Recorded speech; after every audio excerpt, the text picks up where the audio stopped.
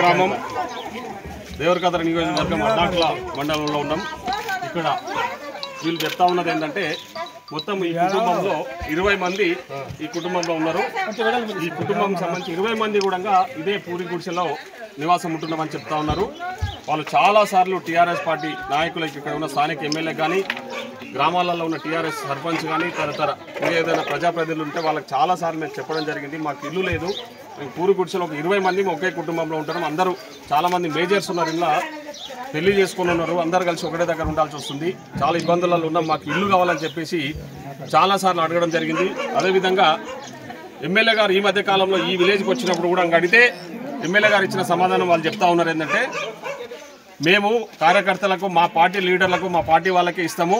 ఇట్లాంటి అమాయకులకు ఇట్లా ఇబ్బందులు పడుతున్న వాళ్ళకి ఇయ్యమని చెప్పేసి ఎమ్మెల్యే గారు చెప్పిపోయారని చెప్పేసి వాళ్ళు చెప్తా ఉన్నారు. అంటే ఒకసారి ఆలోచన చేయండి. టీఆర్ఎస్ వాళ్ళు ఏ విధంగా ఇట్లా అమాయకులను మోసం చేసి ఓట్లు వేయించుకొని ఏ విధంగా ఇబ్బందులకు గురి చేస్తా ఉన్నారో ఒకసారి ప్రజలందరూ కూడా ఆలోచన చేయాలని చెప్పేసి తెలియజేస్తా ఉన్నాము.